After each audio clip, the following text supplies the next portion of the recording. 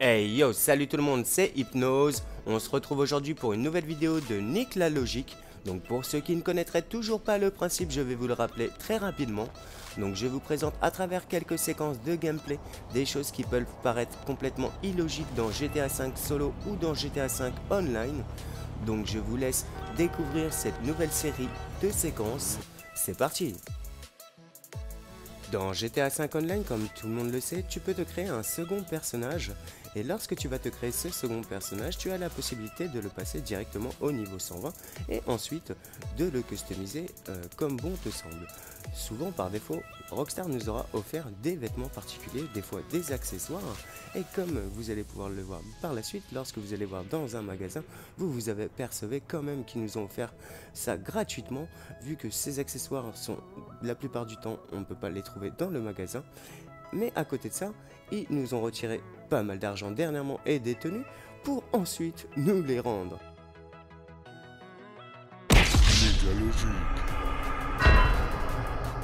Dans GTA 5 Online, comme tout le monde le sait, pour acheter des armes, il faut que tu te rendes à l'armurerie où tu trouveras logiquement des armes à feu, des armes blanches, des armes explosives, mais également des choses qui ne sont pas des armes comme un bidon d'essence.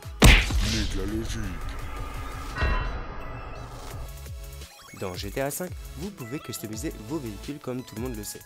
Beaucoup de personnes hésitent toujours entre des jantes de couleur ou des jantes chromées.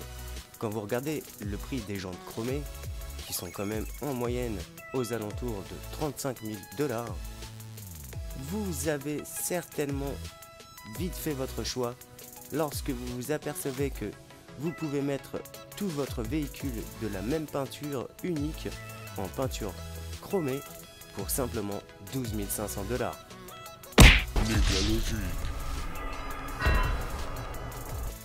Dans GTA V, si comme moi, un vendredi soir, vous décidez de vous enjailler avec vos potes et de partir à l'épicerie acheter le maximum de bière que vous pourrez acheter, vous allez au maximum vous en tirer pour 40 dollars et pouvoir ainsi faire la fête avec vos amis et vous enjailler toute la nuit.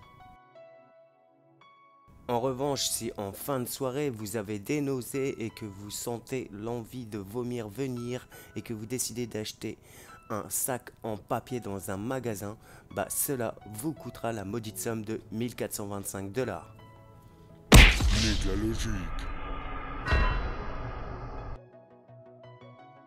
Dans GTA V, vous pouvez faire tout un tas d'actes d'incivilité devant les forces de l'ordre, comme casser leurs panneaux de police, vous attaquer à une cabine téléphonique devant leurs yeux ou un panneau euh, lumineux. Ça ne les dérangera pas.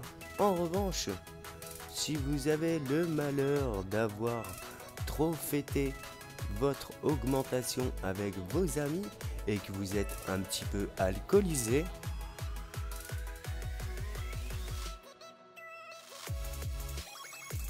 ils vont s'empresser de vous interpeller et de vous foutre une contravention.